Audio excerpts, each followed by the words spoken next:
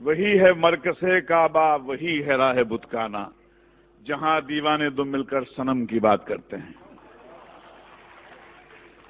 जावेद मीर साहब ने बहुत सही फरमाया कि मुसलमानों को सर्टिफिकेट की ज़रूरत नहीं है।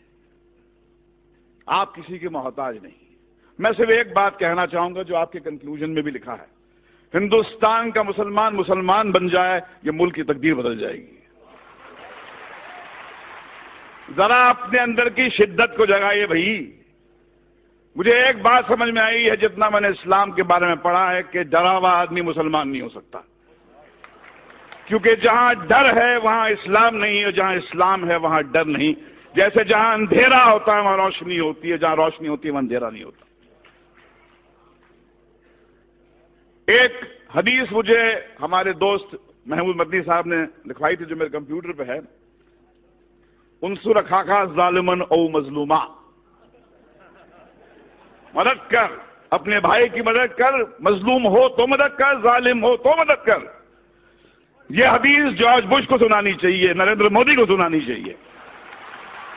कि जिस मज़हब की हदीस ये कहती है कि भाई मजलूम की मदद तो कर, जालिम की मदद कर, उसको रोक। उससे पूछ क्यों जुल्म करता है? क्या तकलीफ़ है तेरे को?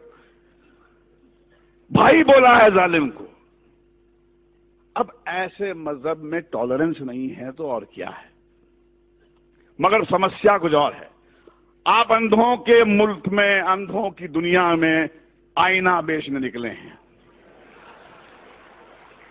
दुनिया का सबसे बड़ा दहशतगर्द व्हाइट हाउस में रहता है।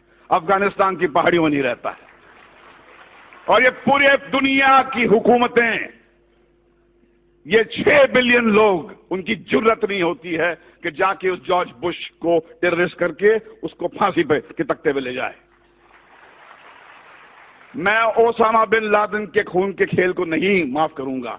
बशर्ते आप जॉर्ज बुश को भी उसी तरह ट्रीट करें।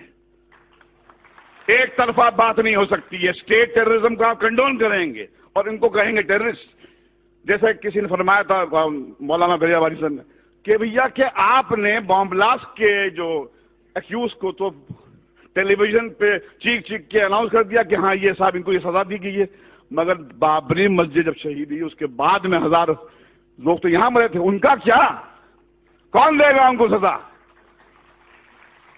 कहाँ जाके गिड़गिड़ाए? किससे भीख मांगे? आज तो हमारी यहाँ पर सरकार एनसीपी और कांग्रेस की है। क्या हुआ श्री कृष्ण कमीशन रिपोर्ट का? जो समाज इंसाफ नहीं दे सकता, वो टेररिज्म से मुक्त नहीं हो सकता। अगर आपको टेररिज्म से मुक्त होना है तो इंसाफ देना पड़ेगा आपको। और अगर आपने अपने पुलिस स्टेशन को टॉर्चर चेंबर्स बना दिया, वहाँ पर मासूम को ले जाके मारोगे, पीटोगे, जलील करोगे तो टेररिज्म बढ़ेगा। हमें एक ही बात करनी चाहिए। वो ये है कि हमारे अंदर वो ज़रूरत होनी चाहिए, हदीस आपकी है। रसूल अल्लाह ने फरमाया था कि सबसे बड़ा जहाद क्या है? जालिम बादशाह को अपना जैसा ही चेहरा दिखाना। जालिम बादशाह को कहो कि तुम कितने बदसूरत हो। उनसे कहो कि ये क्या दो तरफी बात हो रही है। जब चाहे आपने खड़ा कर दिया, हमको कटघरे में। और देखिए, जॉर्ज बुश भी कहता है कि इस्लाम तो मज़हब पीस का है टॉलरेंस का है। मगर फैक्ट यह है कि जहाँ दाढ़ी वाला नज़र आता है, आप बोलते टेररिस्ट है। ये लड़ाई इस सेमिनार से खत्म नहीं होने वाली है। ये बहुत लंबी लड़ाई है। वो दौर आ गया है। रसूल अल्लाह ने फरमाया था, इस्लाम आपके हाथ में जलता हुआ कोयला बन जाएगा। जिसमें दम है वो बने मुसलमान। और जिए शान से, मगर किसी के सामने गिड़गिड़ाइए मत। किसी के साथ, किसी के तलवे मत चाटिए क्योंकि आप उस ताकत उस ताकत से कनेक्टेड हैं। यह मुल्क आपका है। इसमें आपके पुरखों का खून है।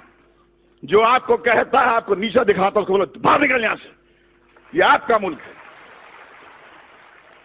यह हमारे आपका मुल्क है इसको हम ठीक करेंगे। इस्लामोफोबिया हिंदुस्तान को शोभा नहीं देता। ये वैसे से मैक, मैकडोनल्ड लाने वाले कोको कोला लाने वाले लोगों का हो कि इस्लामोफोबिया वेस्ट में रखें।